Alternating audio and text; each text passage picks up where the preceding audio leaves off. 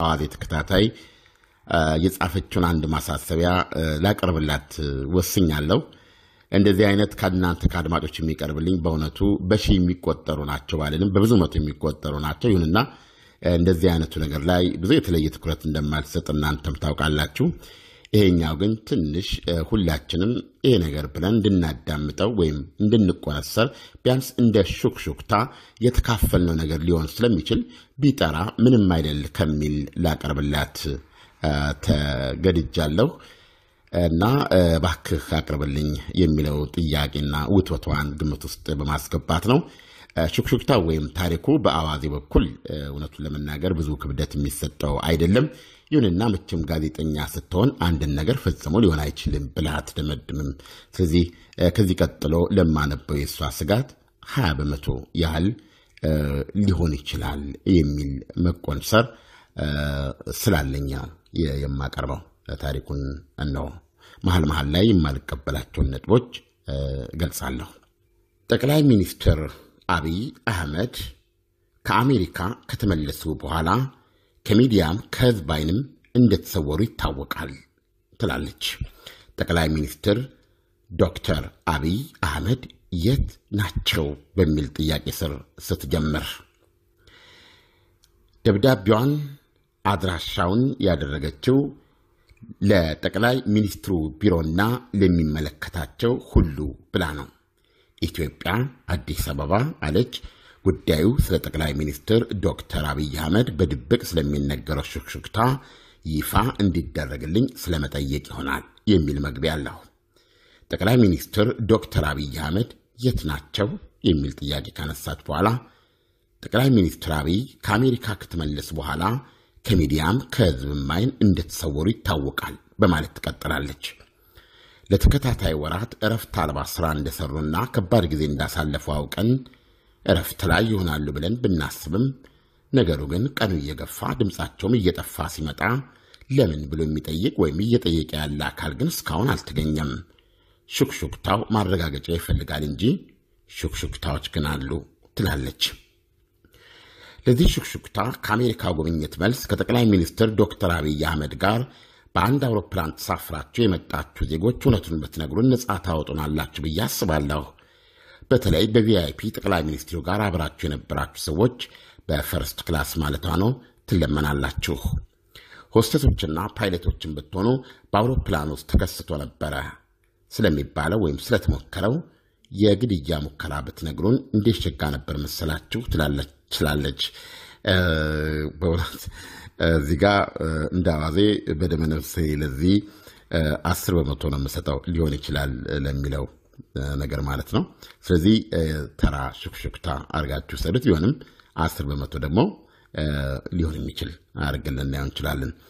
እንደሚባለው ከሆነ ጠቅላይ ሚኒስትር ዶክተር አብይ አህመድ በዕለቱ ከአሜሪካን ሲመለሱ በራሳቸው ጠባቂ አማካኝነት በአውሮፕላን ውስጥ የመግደል ሙከራ ተደርጎባቸው ነበር የሚባል ነገር ይሰማል። እናም በእግዚአብሔር ኃይልና በሌሎቹ ጠባቂዎች ንቃት ከተቃጣባቸው አደጋም ጠቅላይ ሚኒስትር ዶክተር አህመድ ሊተርፉ ችለዋል እየተባለም ነው የሚነገረው። በዚህ የተነሳም አውሮፕላን ውስጥ በነበረው ከፍተኛ የሆነ ግርግር ምክንያት አደጋ ለማድረስ ሞካሪው በቁጥጥር ስር እስኪውልና ሁኔታዎች እስኪረጋጉ አውሮፕላኑ አዲስ አበባ እስኪገባም ሆነ አዲስ አበባ ከገባ በኋላ እንዲዘገይ መደረጉም ተነግሯል። ጠቅላይ ሚኒስትሩ ከአውሮፕላን እንደወረዱ በቦሌ አውሮፕላን ማረፊያ ጣቢያ ጋዜጣዊ መግለጫ ከሰጡ በኋላ በቀጥታ ወደ ማረፊያቸው መሄዳቸው ተነግሯል።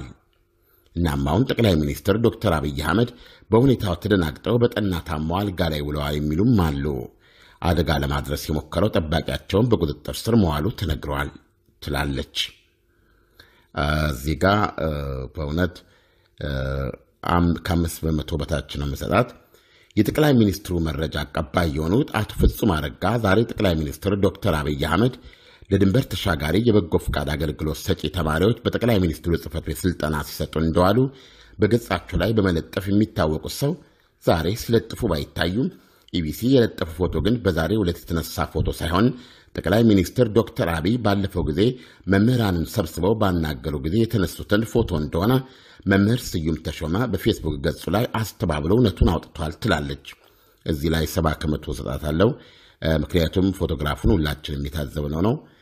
በዚህ በድንበር ተሻጋሪ ተብሎ ዘማች በኢትዮጵያ የተለያዩ ክልሎች እየተንቀሳቀሱ የተለያየ በጎ ስራ ለሚሰሩ ወጣቶች መድረክ ነው። እሳቸው ናቸው ይህን መድረክ የሰበሰቡት። ይሁንና ፎቶግራፉ የሚያሳየው የእሳቸውን ማለት ነው። የተማሪዎቹ ፎቶግራፍ አለ። ፖዲየም ላይ ያለው የእሳቸው ፎቶግራፍ ተብሎ የቀረበው ግን የዩኒቨርሲቲ መምህራንን ሲያወያዩ በነበረበት ጊዜ እሳቸውና ምናልባት የትምህርት ሚኒስትሩ ይመስሉኛል ጎን ለጎን ተቀምጠው ያሉትን ፎቶግራፍ ነው። ጠረጴዛው፣ የእሳቸው አነሳስ፣ ሁሉ ነገር እንዳለ ያን ፎቶ ነው የተጠቀሙትና ይሄ ለምን ሊሆን ይችላል የሚል ጥያቄ ማስነሳቱ ተገቢ ነው ብዬ አምናለሁኝ። ምክንያቱም እንደዚህ አይነት ደግሞ ይፋ መድረክ ላይ ጋዜጠኞች ፎቶግራፍ እንኳ እስካለማንሳት ሊከለከል ወይም ዝግ ሊሆን የሚችልበት አሰራር ብዙ የተለመደ ካለመሆኑ አንጻር ይህ ጥያቄ ክብደት ሊሰጠው ይገባል። በዛ ስብሰባ ላይ ተገኝቶ የእሳቸውን ፎቶግራፍ ማንሳት አቅቷቸው የሚዲያ ሰዎች በዩኒቨርሲቲ መግለጫ ሲሰጡ የሚያሳየውን ከዩኒቨርሲቲ መምህራን ጋር ሲወያዩ የነበረውን ፎቶግራፍ ማቅረባቸው ይህን ጥያቄ አስነሳል። የሚገርማቸው ይህን ፎቶግራፍ የተጠቀመው የሬዲዮ ፋና ብሮድካስቲንግ ኮርፖሬት ላይ ነው እኔ ያየሁት። ወደ ታሪኩ እንቀጥል። ጠቅላይ ሚኒስትር ዶክተር አብይ አህመድ የሁለቱን ሲኖዶሶች እርቅ አስመልክተውም ባለፈው ቅዳሜ በሚሊኒየም አዳራሽ በተደረገ ዝግጅት ላይ ይገኛሉ ተብሎ ብዙ ከተጠበቁ በኋላ በመጨረሻ እንደማይገኙ መነገሩና ከዳላስ ምዕመናን የተበረከተላቸውን የአልማዝ ስጦታ በተወካያቸው አማካኝነት እንደወሰዱ ታውቋል ብላለች። ይህም ትክክል ነው። በነገራችን ላይ በአሜሪካ ጉዞም ቀዳማዊት እመቤት አብረዋቸው ነበሩ። የዚህም ተሸላሚ ቀዳማዊት እመቤትም ናቸው። ለባልና ሚስቱ የተደረገ ሽልማት ነበረ። ምናልባት ዶክተር አብይ እንኳ የማይመቻቸው ሁኔታ ቢኖር ባለቤታቸውን ሊገኙ ይችሉ ነበር። የዛለት ግን ሁለቱም ሳይገኙ አልተገኙም ነበር። ይህንን የማይቻለው በሌላም በኩል ጠቅላይ ሚኒስትር ዶክተር አብይ አህመድ የሀገር መሪ ያህል የሚቆጠረው የህዳሴ ግድቡ ታላቅ ኢንጂነር ስመኘው በግፍ አደባባይ መታረዱ ይታወቃል። እናም ጠቅላይ ሚኒስትሩ አዲስ አበባ እንደገቡ ስለ ኢንጂነሩም መግለጫ ይሰጣሉ፣ የሟች ልጆችንም ያጽናናሉ ተብሎ ቢጠበቅም እስካሁን በዚያ ጉዳይ ላይ ትንፍሻ ለማለታቸውም ሲታይ የሆነ ከበድ ያለ ነገር አለ ብሎ መጠርጠርም ክፋት የለውም። ሰሞኑን ደግሞ በኢትዮጵያ ሶማሌ ክልል የዘር ማጥፋትና የኦርቶዶክሳዊ ተዋሕዶ ቤተ ክርስቲያን ውድመት ሲካሄድ እያዩ እየሰሙም ዝምታን መምረጣቸው የጤና አይመስልም። በአጭር ወራት ውስጥ በየዕለቱ አዳዲስ አጀንዳዎችን በማቅረብ ዓለምን ሲያስደምሙ ተቃዋሚውን ሁሉ ሳይቀር በፈቃዱ የኢህአዴግ አባል ሲያደርጉት የነበሩ የሀገር መሪ ድንገት ከሳምንት በላይ ሲሰወሩ እያየን የት ደረሱ ብለን ያለመጠየቅ ነውርም ኃጢአትም ወንጀልም ነው ትላለች ቤተልሔም አራጌ። ጠቅላይ ሚኒስትር ዶክተር አብይ አህመድ በዛሬው ዕለት ከጀዋር መሐመድ ጋር ለመነጋገር ቀጠሮ የነበራቸው ቢሆንም ምክንያቱ ባልታወቀ ሁኔታ ጀዋር ከጠቅላይ ሚኒስትሩ ጋር የነበረው ቀጠሮ ተሰርዞ በምትኮ ከፕሬዚደንት ሙላቱ ተሾመ ጋር እንዲነጋገር ተደርጓል ተብሏል ትላለች። እናም እኔ በበኩሌ ጠይቃለሁ፣ ጠቅላይ ሚኒስትር ዶክተር አብይ አህመድ የት ናቸው? ማስመሰሉ ይቅርና እውነታውን ንገሩን፣ ከሐሜትና ከሹክሹክታም አድነውን። እውነታውን ሳትነግሩን ነገሮችን ለማስቀየስ አንድ የአስመራ አንድ የጅቡቲ የምታደርጉትን ግርግር አቁሙና እውነቷን ንገሩን።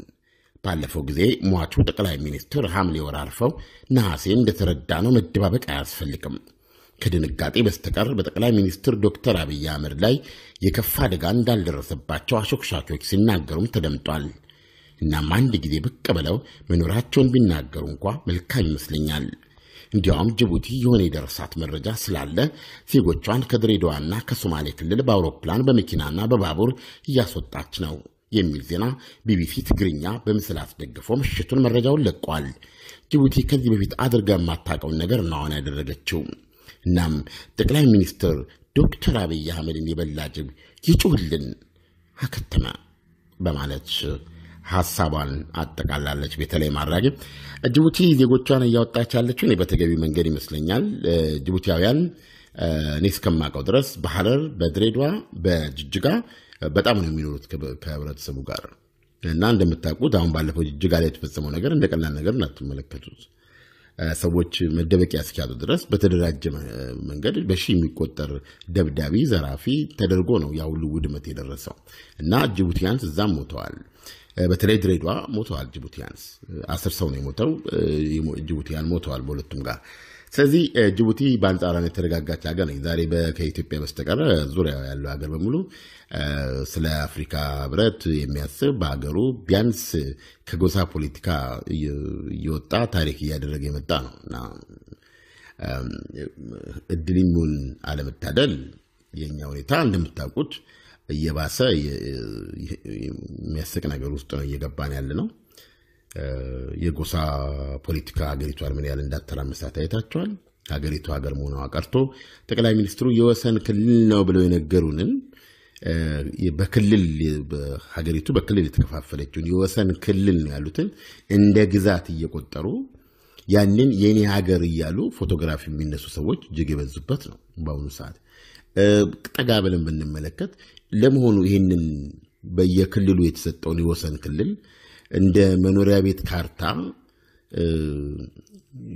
የኔ እያለ እየያዘ መፈክር የሚያሰማውን አርማ የሚያውለበልበውን ብዛት አይተን አንድ አስተያየት ስጡ ቢባል ግራ የሚያጋባ ነገር አለው እና ምንድን ነበረ የዚች ሀገር ችግር? የዚች ሀገር ፖለቲካ መነሻው የምን የዲሞክራሲ የፍትህ የምን እጦት ነበር ብለን ብንመለከት በሚያሳዝናቸው ሁኔታ ጠጋ ብላችሁ ብትመለከቱ ቴሪቶሪያል ነው። እና ሁሉም ጋር የምትመለከቱት ልክ ጎረቤትና ጎረቤት በሰፈር ውስጥ እንደምናደርገው አጥሬን ጣሽ እሷ ነገር የኔ ነች ደፌ ላይ መተሽ ነው እንትን ያልሽው እንደሚባለው አይነት የኢትዮጵያን ለራሴ መቀራመት ጉዳይ ነው የሚመስለው። እና አንዳንዶቹ የሀገራቸውን የእኛ ካርታ ብለው ቢያስቡትን አፍንጫውን አሹለ በዛኛው አንዳንድ ጊዜ ምንም አንዳንድ ጊዜ በቃ ምንም ነገር በቃ ነው በጣም ኢሞሽናል ያደርገኛል። ያስቸግረኝ። ይህ አዋዜ ነው።